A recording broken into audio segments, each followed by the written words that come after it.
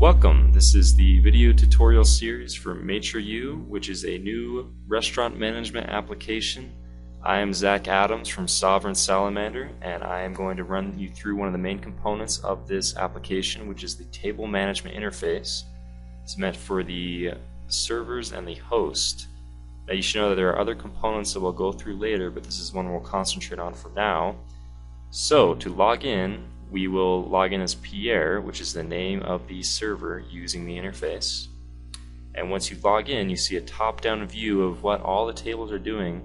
Uh, for now, we'll ignore most of these features and we'll just concentrate on seating patrons. And namely, the feature I'm going to show you is how to make a reservation. So you'll see that you can see patrons at the top that are already in the patron queue, or we can make a new one We'll say Adams of party 2. You can seat him immediately at any table, but for now we'll make a reservation for a certain time. You know, if somebody calls in, just make it for whatever time they want. And then we go to the parties queue, and it shows that party that we just put into the system. Uh, you can see that that party can be seated now because they have a party of two, and the only tables remaining left unseated are capacity 2.